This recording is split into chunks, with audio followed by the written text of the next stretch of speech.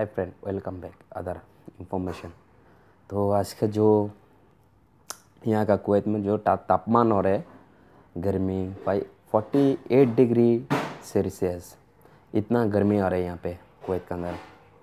तो आज का जो हमारा जो टॉपिक है, आप जब भी इंडिया से यहाँ पे आ रहे कुवैत में कोई जॉब के लिए आ रहे बट इसमें एक चीज़ ध्यान रखने का ज़रूरत होता है आपको। जो भी इंडिया से यहाँ पर आ रहे आप जो एग्रीमेंट जो है एग्रीमेंट देख के आने का ध्यान से अगर कोई आपका एग्रीमेंट में देख रहे आप 120 है यहाँ पे आके आपको दे रहे वन हंड्रेड दिनार। वो तो इसमें आप कुछ नहीं कर सकता। आप सुन पे जाएगा तो वो भी कुछ नहीं कर सकता। एम्बासी में जाएगा तो कुछ नहीं कर सकता। जैसा है कंपनी जैसा मर्ज़ी ऐसा ऐसा भी केस हम लोग का जिस में मैं काम कर रहे हैं अभी। जिस कंपनी में काम कर रहे हैं, इसी कंपनी में हो चुका है। उनका एग्रीमेंट पेपर है वन ट्वेंटी नेपाल का बंदा है वन ट्वेंटी पे। वन ट्वेंटी दिनार है सर्विस के लिए आया।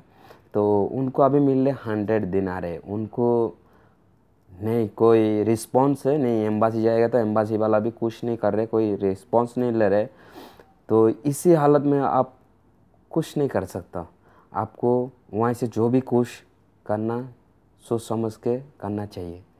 और आपको इंग्लिश उतना आता नहीं तो किसी को भी देखा सकता है, किसी किसी इंफॉर्मेशन लेके सोच समझ के आना पड़ेगा।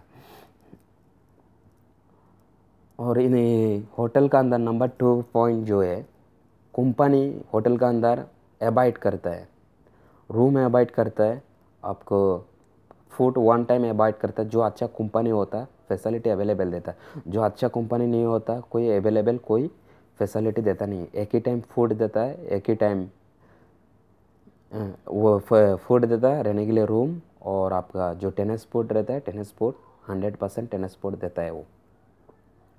आपका मैक्सिमम एक बार आपको सवाल उठेगा ड्यूटी कितना घंटा ड्यूटी होता है कुवैत का अंदर? जो होटल का मैं जस्ट ऑनली होटल का इन्फॉर्मेशन करता रहता हूँ। जो होटल का है नौ घंटा ऊपर ड्यूटी नहीं होगा। आठ नौ। और एक घंटा आपका break break time lunch time ऐसा होगा।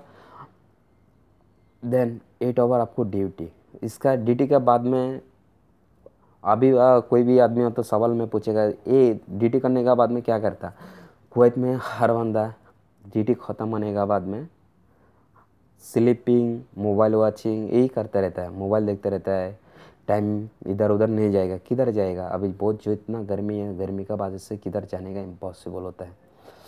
तो इसका आज के लिए इतना इतना आप हो, समझ सका होगा, समझ गया होगा पूरा इन्फॉर्मेशन के बारे में। और कोई भी जानकारी चाहिए तो कमेंट्स में कमेंट्स करो। मैं ज़्यादा ज़्यादा कम इन्फॉर्मेशन देने के लिए मैं कोशिश करता रहूँगा। अब वीडियो तो अच्छा लगे तो लाइक कर, नहीं तो लाइक कर देना, नहीं तो डिसलाइक ठोक देना सब्सक्राइब करके जाना। ठीक है बाय बाय अपना ख्याल रखना।